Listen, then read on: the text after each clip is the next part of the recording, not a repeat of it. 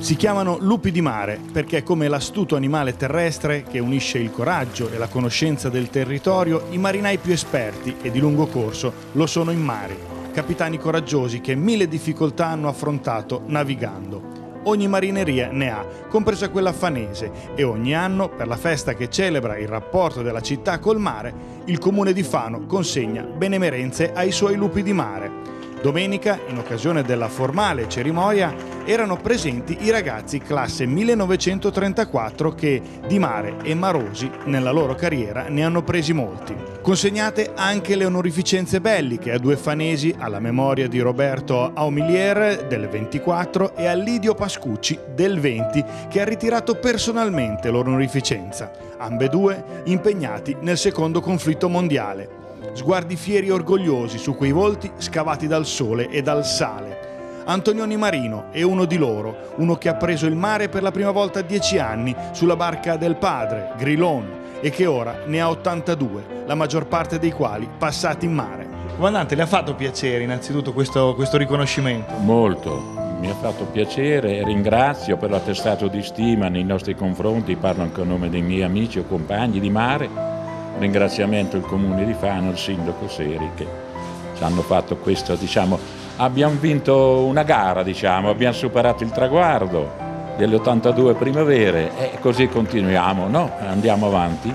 Ho fatto il retaio, riparatore di reti. Eh, ti dirò in un primo momento, le barche erano tante che quasi quasi rimpiangevo il mare, diciamo. Ci sono stati degli episodi anche tristi, come la mina che esplose eh, al motopescareccio Anna in cui c'era mio zio, all'epoca avevo 16 anni, è stato un dispiacere enorme, poi nel, nel 64 i miei amici, un certo Perugini Riccardo, Tonti Cesare, eh, un fortunale tremendo e persero la vita, ancora quanto ci penso ancora provo tanta commozione.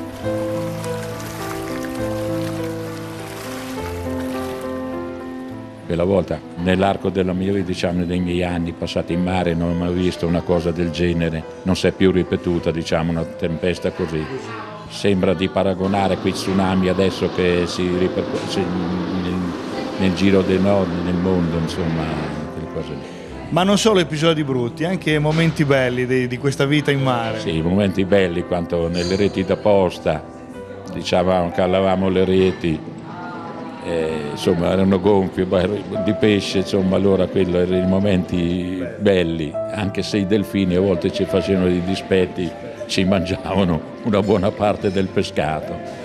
Nella vita insomma, marinara ci è capitato di essere anche catturati, catturati da Tito insomma, ah. all'epoca, insomma, diciamo nelle coste jugoslave, a volte anche senza essere, senza trasgredire, diciamo che quando venivano fuori, diciamo le pilottine o i MAS, perché quando venivano fuori veniva fuori tutta la flotta per catturarne di più, diciamolo.